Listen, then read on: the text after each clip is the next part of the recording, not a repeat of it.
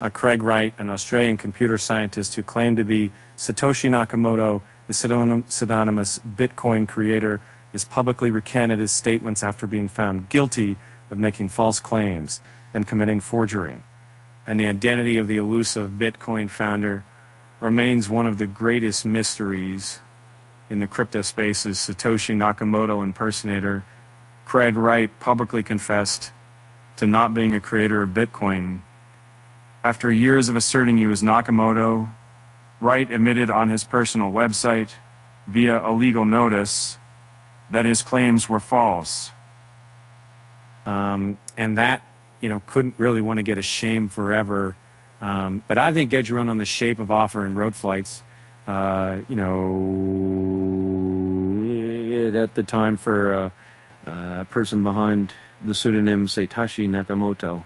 Uh, the court also discovered that Wright lied extensively and repeatedly in his evidence, creating various false narratives in his attempt to bolster his false claims.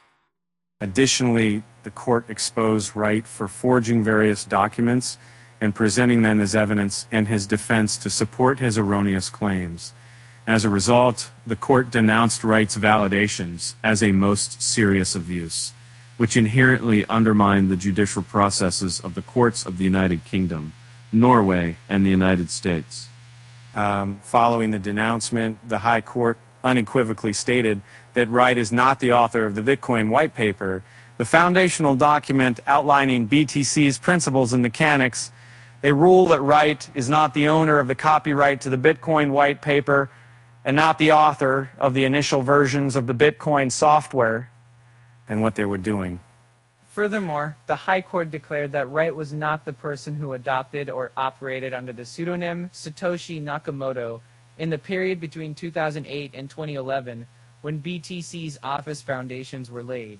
The court has also rejected Wright's assertions of being the creator of the Bitcoin system, dispelling any remaining doubt about his false role in creating Bitcoin. In addition to the court's clear-cut ruling on Wright's false claims, several stringent conditions and measures have been imposed on the self-proclaimed Bitcoin creator to prevent further legal actions based on his previous discredited assertions. Uh, Wright has been explicitly ordered by the High Court to refrain uh, from initiating any legal proceedings, whether as a claimant or a counterclaim. Uh, he's also been prohibited from encouraging or involving others in any legal activities involving such actions.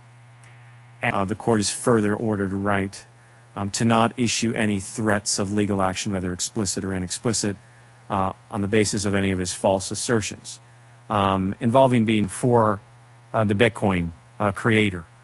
Uh, the order also extends towards uh, preventing Wright from procuring any other person to threaten legal action. And the High Court's comprehensive and definitive rulings and strict orders mark a decisive end to Wright's long-standing claims of being the Bitcoin founder. Uh, this development also serves as a deterrent and warning against making false claims in the crypto space.